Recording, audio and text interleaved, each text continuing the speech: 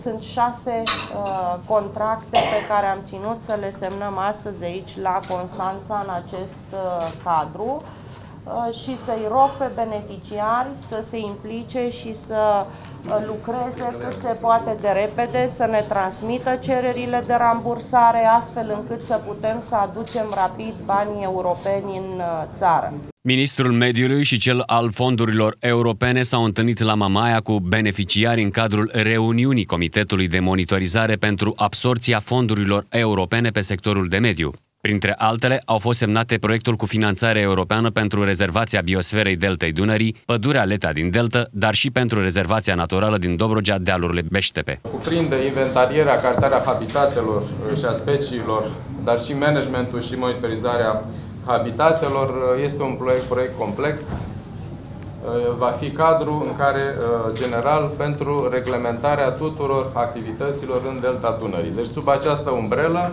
sub acest cadru general, ne vom justifica și vom întreprinde orice acțiune în Delta Dunării. Felicitări pentru semnarea de contracte, într-adevăr un lucru foarte bun. Sperăm să fie la fel de rapidă și implementarea lor fără sincope în, în derularea de contracte. Proiectele prevăd lucrări și amenajări care să ajute la conservarea siturilor naturale, în special cele cuprinse în programul mondial Natura 2000. Biodiversitatea privește atât protejarea unor specii de plante aflate în pericol de dispariție din cauza activității omului și a schimbărilor climatice, cât și a unor specii de animale. Delta Dunării este una dintre cele mai întinse zone de pe glob ca habitat al păsărilor sălbatice și cea mai vastă zonă de stufărișuri compacte de pe pământ.